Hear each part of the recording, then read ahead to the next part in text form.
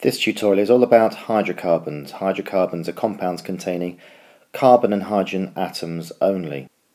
These pictures show a hydrocarbon called propane, which has got the formula C3H8. It can be drawn in various ways. This one is a simple drawing called a displayed formula, and this one just shows a ball and stick model drawing of it. These are the parts of the syllabus that I'm just about to uh, cover. Um, do pause if you want to have a good read of that. The simplest of the alkanes is methane. Uh, it's only got one carbon and it's got four hydrogens around it. Carbons always make four bonds and hydrogens always make one bond. Uh, Another thing is that they've got single covalent bonds, and so between the two carbon atoms, there's only a single bond in between. Uh, and that single bond's made out of a shared pair of electrons, and you can see from this diagram here, you wouldn't have to understand this at this stage, this is more for next year, but you can see that around the carbon it's got four of its own red electrons, and it shares four more with four hydrogens so that you can get what's called a full shell of eight.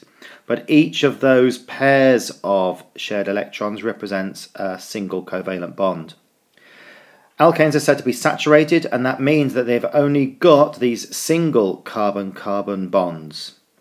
There's a, a few ways that you can write methane and two in particular you need to know about. One is the molecular formula and the molecular formula just tells you the number of atoms of each type of element which are in the compound. And then there's the displayed formula, and this one shows you each atom and each bond separately. Methane again is just one of a whole series of compounds with similar structures called the alkanes.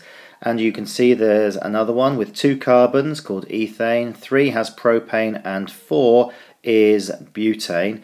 And each of these are called saturated compounds because they've got only single carbon-carbon bonds in their structure. Another set of compounds, which are hydrocarbons, are the alkenes. Again, they contain only carbon and hydrogen atoms, but this time they have a double bond between uh, two of the carbon atoms, and we call these compounds unsaturated each of these carbon-carbon double bonds is made up of two shared pairs of electrons.